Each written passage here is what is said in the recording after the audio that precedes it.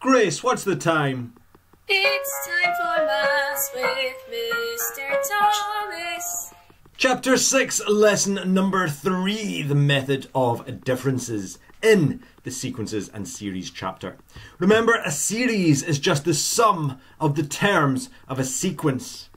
And often you can use an algebraic identity to help find the sum of a series. And there is another useful tool known as the method of differences that takes advantage of when terms in a series can't cancel. So, let's look into an example.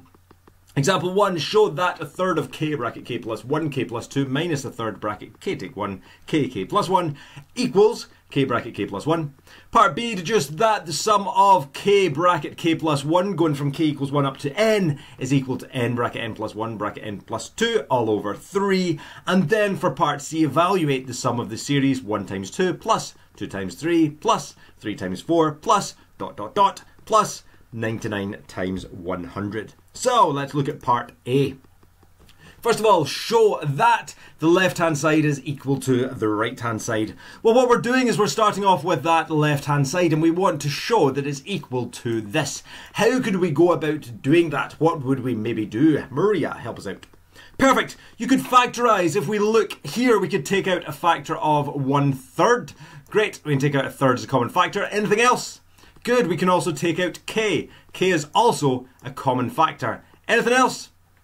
Brilliant, you can also take out k plus 1. k plus 1 is also a common factor. So let's take out the third, the k and the k plus 1. That'll mean that is what we have. And then we are left with, just going to put in curly brackets because I've already got normal brackets, we are left with a k plus 2. And then take away, and then we've got a k take away 1.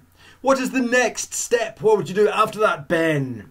Good, you would simplify what is in these brackets. So if you simplify that, you've got a k plus 2 take away k and then a take away 1. So that will give us, well, we've got a k plus 2 take away k and then a plus 1, meaning we'd have k take away k and we'd have a 2 plus 1. So really, this bracket here simplifies and then just becomes 3. From there, well, you've got a third and you're multiplying that by 3. And if you multiply a third by 3, you just get 1. So it's 1 times k times the k plus 1, which is just k bracket k plus 1. Woo! That's your answer. Part B deduce that the sum of k bracket k plus 1 going from k equals 1 all the way up to n is equal to n bracket n plus 1 bracket n plus 2 all over 3. So the first thing we're thinking is if we want the sum of k bracket k plus 1 going from 1 all the way up to n, well really k bracket k plus 1 is equal to what we had in part A. We know k bracket k plus 1 is equal to a third k, k plus 1, k plus 2, take a third k, take 1, k, k plus 1. So let's sub that in. We're still wanting the sum going from k equals 1 all the way up to n. The next step would just be to start off subbing in the values of k. So we're starting with k equals 1, so let's replace k with 1. So we'd have a third times k is 1, multiplied by 1 plus 1, which is 2, and then 1 plus 2, which is 3. We are taking away a third. If k was 1, well that's 1 take away 1, which is 0, and then k is 1, and then 1 plus 1, which will be 2. And all of that was when k is 1. After that, what do we do, Amna? Perfect, you sub in k to be 2. So, if you do that, well, a third is staying as one third. If k is 2, that would be 2. 2 plus 1 would equal 3. 2 plus 2 would equal 4. We're then taking away one third again, stays as it is. And then if k was 2, you'd have 2 take away 1, which is 1. And then 2. And then 2 plus 1, which is 3. And all of that is when k is 2. I'm sure you get the idea. After that, you would replace k with 3. So when k is 3, you'd have a third times 3 times 3 plus 1, which is 4, 3 plus 2, which is 5. Take away a third of, and then this here works out to be 3 take away 1, which is 2. That stays as 3, and that's 3 plus 1, which is 4. What are you noticing here if you keep on going? Good, a couple of people noticing this. What we have is a third times 1 times 2 times 3, but later on when we sub in the next value of k, we are then subtracting that. So we are subtracting the third k, a third 1 times 2 times 3, and we're starting off with a third 1 times 2 times 3, but they're cancelling out. Also, if you look next, on the next line we've got a third times 2 times 3 times 4, but on the next line we're then subtracting a third times 2 times 3 times 4. So they will also cancel out. As we keep on going, what's going to happen? Well, with this pattern, we are eventually going down to subbing in n in place of k, and if you do that, you'll have a third times replace k with n, so it's n, then n plus 1, then n plus 2, then take away a third times n take away 1, n, and then n plus 1. So we're going down to that, but what you're noticing is here when you do this, you're cancelling these two. You're then cancelling these two. So whatever is first here is going to cancel with whatever is second on the next line. So that will cancel with whatever comes next when k is 4.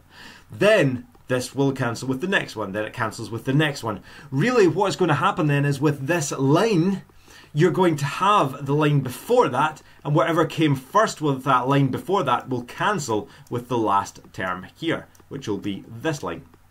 Really, this one would cancel if you were going to n plus 1. That would cancel with the next one, but we're not going to n plus 1. So really what we're left with is just the third n, n plus 1, n plus 2. And we're also left with this take away 1 third times 0 times 1 times 2. Really then, if you work that out, well this third n, n plus 1, n plus 2 is just going to stay and we're really taking away a third of 0 times 1 times 2, which is really just 0.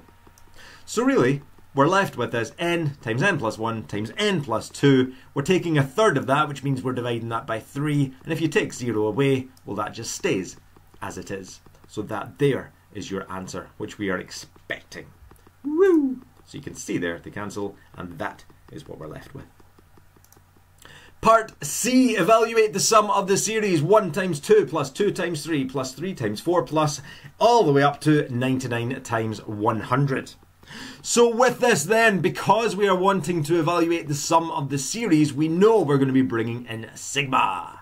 We are going to be starting with, well we've got 1 times 2, and then we've got a 2 times 3. So let k equal 1.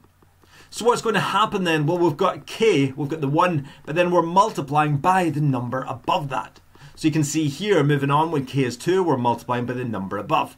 Moving on to the third part, when k is 3, well again you're multiplying by the number above. So it's going to be k multiplied by the number above that, which will be k plus 1. What do we go up to? Well, we can see we're starting with k is 1, that's the first number in the bracket. Then k is 2, that's the first number in the bracket. It's really the first number in the brackets that's the value of k. And the last one is when we have 99 times 100. Because 99 is first, that will be the value of k. So we're going to evaluate the sum of the series, k bracket k plus 1, going from k is 1 all the way up to 99. Woo! You will notice from that we've worked out that the sum of k bracket k plus 1 going from 1 to n is equal to n times n plus 1 times n plus 2 all over 3. We just worked that out in part B. So what we're doing here, the only difference between this here and this here is we've got the sum of k equals 1 all the way up to n. But if we want the sum going from 1 all the way up to 99, all we do is we replace n with 99. So on the right hand side, we'd replace n here with 99. Replace this n with 99 and this n with 99. Meaning then we'll have 99 times 99 plus 1 times 99 plus 2 all over the 3. If you start to work that out, well that's obviously 99. 99 added 1 is 100, then we'd have 101, and then we divide that by 3. To work that out, multiply, then divide, and that gives you an answer of 333,300. Woo! Try these questions in the book. You're just using the method of differences. Look for when the terms will cancel from one row to the next, and that will help you find the sum of a series. So Unit 2 booklet, pages 15 and 16. Check your answers as you go. Best of luck, have fun, enjoy. Woo! Bye.